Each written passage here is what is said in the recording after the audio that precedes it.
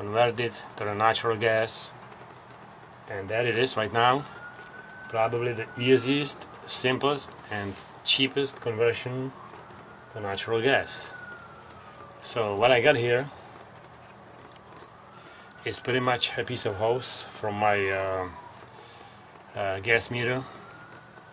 And uh, I stuck it into the bottom of the carburetor it's pretty much stuck onto the uh, whatever that piece is sticking down. I removed the uh, I removed the um, main jet because there will be kind of in a way of uh, pushing the hose inside.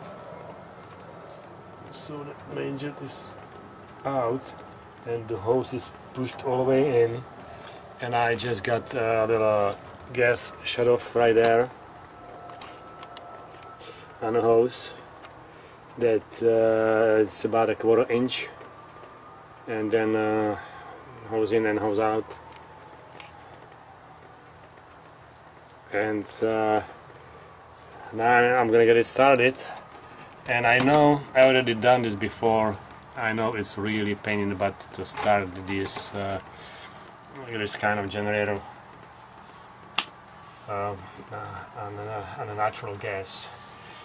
The number one thing to do is just uh, open the gas completely close uh, the completely close the um, choke. Now open the gas just a little bit. Okay you have to listen for the gas actually to come in and just a little bit of gas. So let me see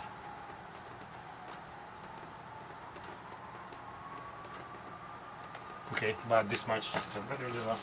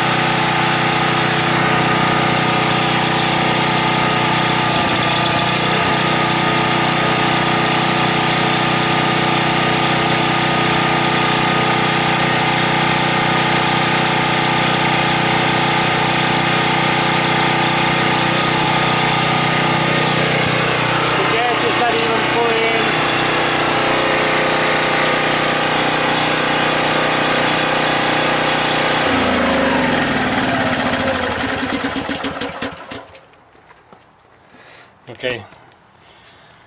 So there you got it. Probably the easiest simplest and cheapest conversion to the natural gas.